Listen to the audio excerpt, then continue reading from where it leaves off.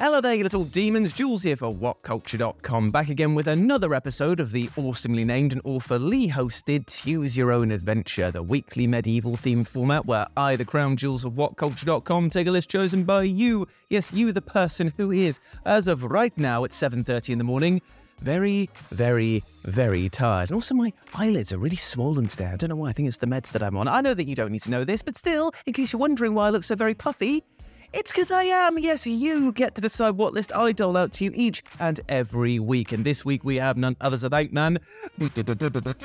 Screaming Tongue. That is, Screaming Tongue. For their suggestion of video games that just hold your bloody hand way too much. Where tutorials just go on for so long and tell you such intricate details that you just go, I know, I know how to breathe. Do I actually know how to breathe? Oh no, I've started thinking about it and it's getting harder again. Cut away, cut away, Dan, cut away. Although the onboarding process for any game is vitally important, the games that we're going to be talking about today all went overboard with it, hovering over the player like an anxious helicopter parent and refusing to just let them make a mistake or two. Now, much as developers obviously don't want players to bounce off their games in frustration, there is indeed a balance, and these games all categorically whiffed it by guiding the players a little too eagerly down a well-trodden path. So let's take a look at them as I'm Jules, this is WhatCulture.com, and these are 8 video games that hold your hand way, way too much. And you know the drill by now, put your suggestions for next week's episode down in the comment section below. But with that in mind, shall we get on with the list? Shall we, Dan? Yes? I'm hearing a resounding yes. Yes, yes, we should. Number 8 Horizon Forbidden West. Now, spoiler alert, this isn't going to be the only first party Sony game that we're going to see on this list, so buckle up, friends. Horizon Forbidden West is a totally rock solid sequel that nevertheless does not trust the player to do a single solitary thing without Aloy offering up a snappy verbal reminder. The moment you walk into just about any room where you'll be required to exert even the most basic mental energy on exploration or puzzle solving, Aloy will freely offer up some unsolicited verbal hints. And when I say hints, what I really mean is, is that she tells you exactly what you need to do in every single circumstance. Thank you for taking the agency out of a video game experience. I really enjoy that. I love it when you walk into a room with a puzzle and you think to yourself, hmm, okay, this might actually, oh, she's literally just telling me to move this block over here. Cool. I love being a backseat passenger in my own game. It's one of gaming's most egregious recent examples of the player character nudging the player into the backseat and basically taking control of the game. And the complaints were ultimately vocal enough that Guerrilla Games eventually released a patch which made Aloy a little less talkative. Guerrilla Games so giving the option to silence women. Ooh, this, this, is, this is not the turn I expected this list to take, I'm telling you this. Number 7. Call of Duty Advanced Warfare. So ever since in 2007 that Call of Duty was reimagined for a new age of gamers, unfortunately one of the things that we got in exchange for outstanding graphics and amazing set pieces was a lot of linearity. It basically just reduced all of the player agency to follow this, go here, shoot that, you idiot. And don't get me wrong, it's fun. But once you start noticing it, oh, it's a bit dumb. But there was one game above all others which invited an avalanche of ridicule from the wider gaming community, and that was 2014's Call of Duty Advanced Warfare. Even accepting that the game marked a major, divisive leap into sci fi territory for the series, there's a moment early on in the campaign which left even the most die-hard Call of Duty fan guffawing with second-hand embarrassment. And you know which bit I'm talking about. It was the press F to pay respects. And just. Ah, that, that it went viral on social media for all of the wrong reasons. I mean, seriously, press F to pay respect. It's still quoted today in some comment sections. And it's highlighting as an example of just how excessively on rails the Call of Duty campaigns now are. Could the player not have simply been encouraged to walk towards Will's casket, at which point the game could wrestle control away from them for the ensuing cutscene? Instead, what we got was an interactive cutscene that was anything but. There was no option to do anything else apart from just stand there and wonder, why is the game making me do this? Why is the game making me feel like I have control over something, something so, so ridiculous? Number 6. Forza Motorsport 2023.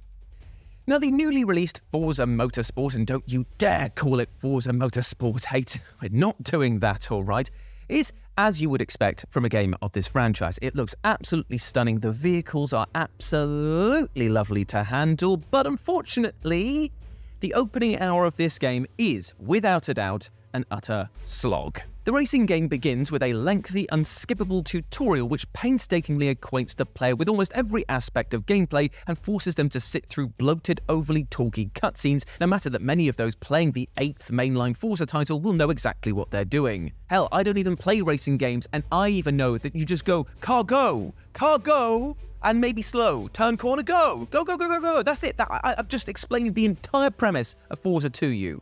And I can and I can show you exactly what I'd be doing if I was holding the controller, which I've got right here actually. Cargo! And that's it. Oh, turn left. That's it.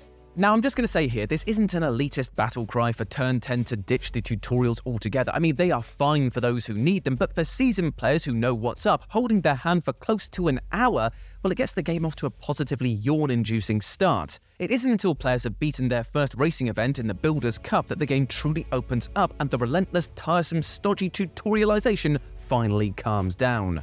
And listen, I'm no video game designer, but I'm pretty sure I could come up with a way to circumnavigate all of this hassle, and that is a little box pops up that just says, Have you played Forza before? Yes, no. Yes, skips all of that. Done. Thank you very much. Checks in the post, is it? Cheers, mates. Number 5 Star Wars Battlefront 2. Now, ahead of Star Wars Battlefront 2's release, EA couldn't stop banging on about the game's cinematic campaign mode, which they promised would satisfy fans disappointed that the previous Battlefront didn't have one to speak of. But here's the thing what they actually delivered us was a cinematic, and I should have put that in heavier quotation marks there, four hour campaign that basically just moves you from corridor to open room to corridor to open room and tasks you with the same three tasks over and over again. It wasn't great, is what I'm trying to say, but more importantly, God damn, was it boring, man. And it also can't help but seem even more of a hand-holding mess in light of EA's richer recent Star Wars Jedi games. Despite the impressive amount of money and effort that clearly went into the campaign's glossy cutscenes, the gameplay fundamentals are about as fun and interesting as rearranging your sock drawer on a lazy afternoon. Definitely avoid. Number 4. Pokemon Sun and Moon. Bing bang bong ba boom boom boom. That is me firing my, uh, there they are again, Nintendo guns. Uh, they're back again, and uh, they're here with Pokemon Sun and Moon, with a tutorial that is so bad, so aggravating to get through, that I'm pretty sure that I wouldn't blame many people for bouncing off the entire franchise altogether. Yeah, it's that bad. Pokemon Sun and Moon makes you wait about an hour to get your starter Pokemon, while relentlessly inundating you with cutscenes and chit-chat text, often while only giving you back control for a few seconds in between them. It is absolutely maddening, and while Pokemon has never been a hardcore franchise, this molasses slow start straight up murders the game's pacing before it can build to anything close to actual honest-to-god momentum. And there's good reason to think that if you are a Pokemon fan, then you've likely played Pokemon for about 10 years or so at this point, so you know most of the basics pretty much. Like, you can recite them from, from start to finish. So the fact that you've got to wait an hour to get into the game to begin again, yeah, that's not fun. No especially seeing as all of it is completely unskippable. Time is a precious resource for any adult, and there comes a point where a game refusing to let go of your hand becomes suffocating to the point that the game is not actually worth playing at all anymore. Number 3 Resident Evil 6. Thank you, thank you very much for coming to my TED Talk. Uh, I will now begin my presentation on why Resident Evil 6 is the worst video game out of the entire franchise. Okay, are we going to begin? Um, all of it. Just all of it. I hate it. I hate it. I hate it. Thank you very much. Any questions? No, pretty, pretty, pretty concise. I, I realize that. Cheers. Bye.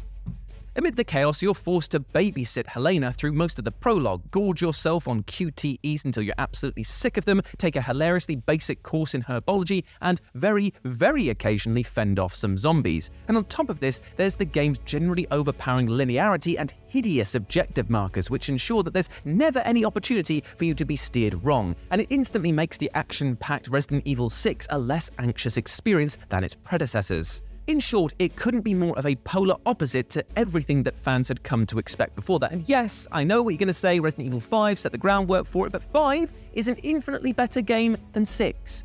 Prove me wrong.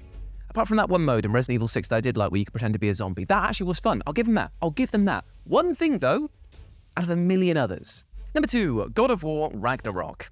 Whoa, whoa, whoa, whoa, whoa. Put your pitchforks down. I know, I've probably already annoyed the Resident Evil fan base by talking about Resident Evil 6 and how shoddy it is, but I'm now going to annoy the Sony fanboys as well by talking about uh, God of War Ragnarok. But please, let me explain before you skewer my spleen, please, I beg you. So now we're going to talk about Sony's other big first-party handholdy offender, which is the otherwise brilliant God of War Ragnarok, which has been dinged ever since release for the tendency for young boy over here to blurt out puzzle solutions before you've even had a moment to take in the area. If you've got a younger sibling, it's tough not to be reminded of them trying to backseat game you whilst playing a game in your youth, refusing to give you the opportunity to work things out with your own bloody brain in bloody peace. Hell, even Atreus' own vocal performer expressed disdain for hearing his voice again and again and again in the game. So not even they like it. And number one, Tomb Raider 2013 and Rise of the Tomb Raider. Now, the original run of Tomb Raider games was basically like a litmus test for players, because they would come along, they'd be presented with a puzzle or a giant room in order to traverse across and just be told, have at it, go for it, figure it out yourself. And that was part of the fun because it actually felt like you were exploring things where Lara just was like, well, I don't instantly know how to do this because I've never seen this before. So, what do you think they changed when it came to the reboots? Hmm, because yes, Crystal Dynamics' reboot trilogy felt like something of a reaction to this, an attempt to casualize the experience and ensure that the new batch of games would appeal to those who dug the more linear-minded Uncharted titles. Yet the hardcore Tomb Raider set ultimately felt that the developer overcorrected, with not only Lara's constant chatter guiding the player along, but also the overabundance of white paint directing the player where to go at almost all times, neither of which could be turned off in the first two games. Thankfully, the developer at least introduced more granular granular difficulty settings for the third game, Shadow of the Tomb Raider, which allowed players to fine-tune combat, puzzle, and exploration difficulty separately, in turn allowing them to remove both the white paint and Lara's verbal hints. But still, silencing women aside, being able to remove the white paint actually is quite a nice touch. I would actually much prefer that to be included in more games, especially Resident Evil 4's remake, because there was a whole thing going on about this. Probably the impetus of why this list came out. But anyway, I'm getting out of here. I'm getting out of here. And there we go, my friends. Those were 10 video games that hold your hand way too much. I hope that you enjoyed that, and please let me know what you thought about it down in the comment section below. As always, I've been Jules. You can go follow me over on the social medias over here, and you can follow my Dan, the lovely editor Dan, over on his social medias over here as well. But before I go, I just want to say one thing, my friend. Even though we spoke today about video games that hold your hand way too much, let's give each other a helping hand in the comments thread and in our day to day life by being kind to ourselves and our neighbor. Let's try to build bridges instead of burning them because trust me, the way that things are going in society, the only way we're going to get through this is together. All right? So be kind to yourself and kind to others because Oh boy, we're going to need some helping hands coming down the line. Trust me on that one. As always, I've been Jules. Hope that you're doing well, treating yourself with love and respect because you bloody well deserve the best. And I'll see you next time here on Choose Your Own Adventure. Bye.